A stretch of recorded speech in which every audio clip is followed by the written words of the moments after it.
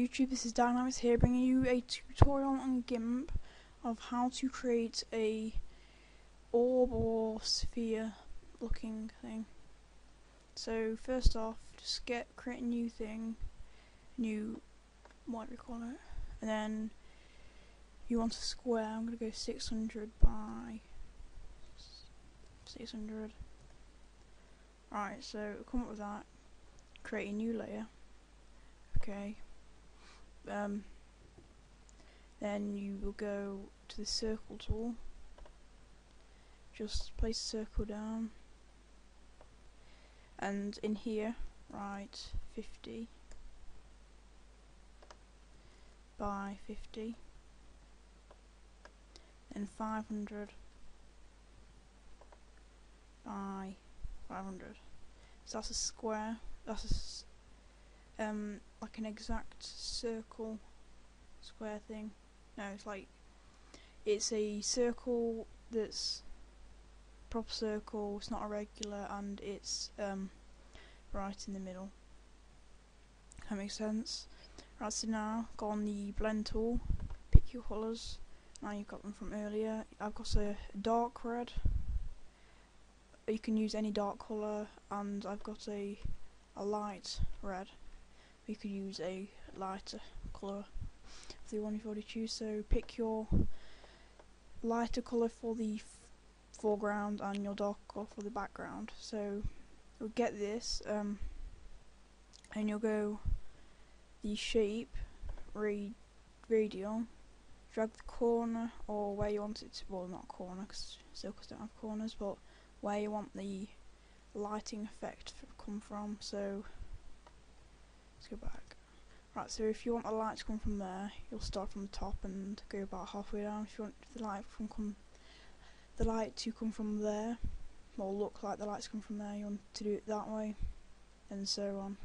So it's easier on the top, saying that. Well, not, I mean, like on the top half. So grab the top, drag it about to the middle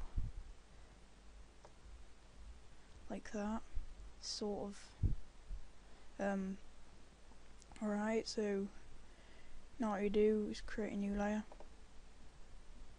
Okay um, get the circle tool again this can be sort of hard sometimes. Try and drag around the light areas like that. Okay I've done it wrong. Make sure you go into the insect tool then do it So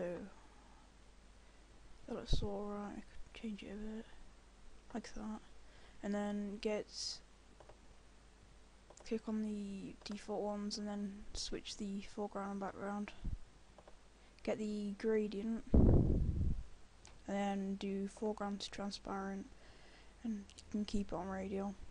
Then do it right to the end, bit before the end, so it has like that effect. Grab the these on 2.8 is a new opacity way of doing it. If you go to the if you grab the bottom, the bottom half, it goes slow, like a more pinpoint. If you do the top, it's just high speed.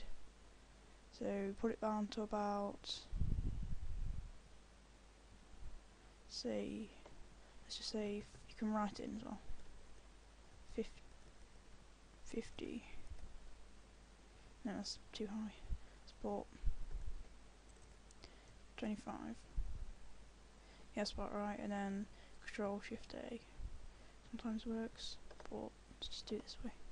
So there you have like the basic thing, and then go onto the background or create a new layer and put it to the bottom. So you do that.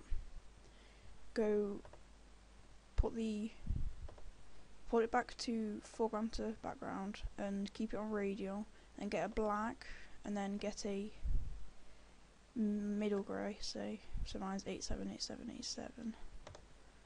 And then do that, and then get just before the bottom of the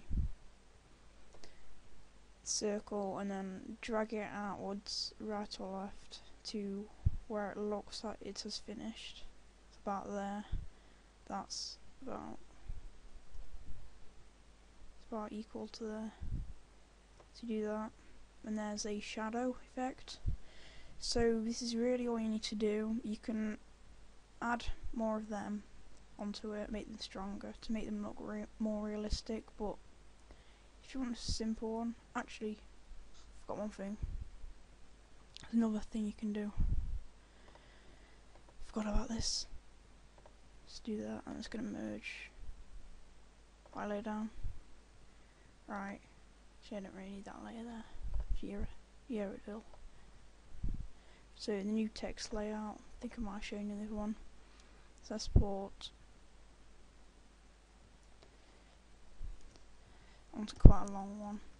Sphere tutorial. And then highlight it, put the size up a bit. On, just, you can change the fonts and everything. I'm just going to put it up to 50. There we go, 50 is enough, and then just click off it. I'm just gonna, you can't really move it very well, so I'm just gonna decide move it easier. Just do that. Right, what I'm gonna do, go on the, actually no you don't need to keep it on there. Yes you do. Right, so get the path tool, which is 8 for long, be in the middle of the second row. Grab it from about there. Start again.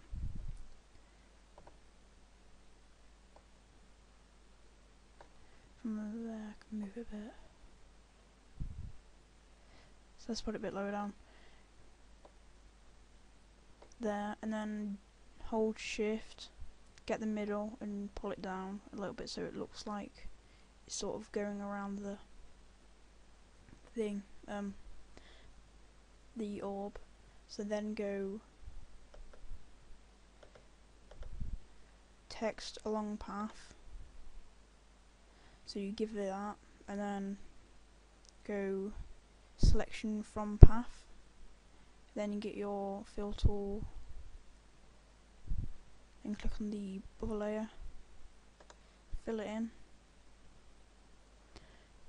go off the thing that's done it, I'm sure. Actually. Now we need to go back on right, um go after selection or you just keep it on. Move the wrong layer.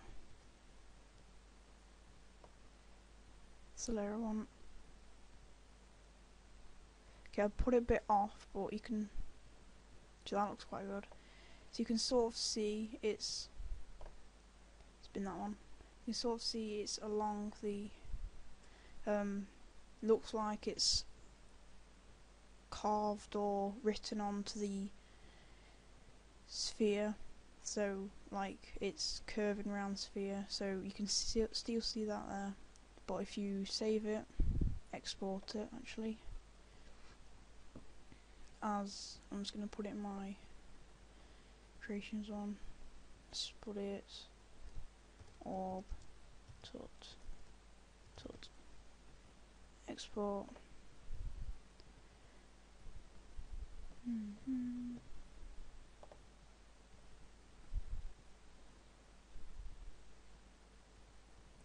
So let finish that, don't normally take this long, I think my computer's been slow. When it's finished, same time. Alright, it's finished doing that. We open this yeah, I've done it there as well. Right, there it is. So open it up. So what I've, what I've just done that you can see there, done a similar thing. So if you do that, right, I'm just gonna preview it so it's a bit of a better view.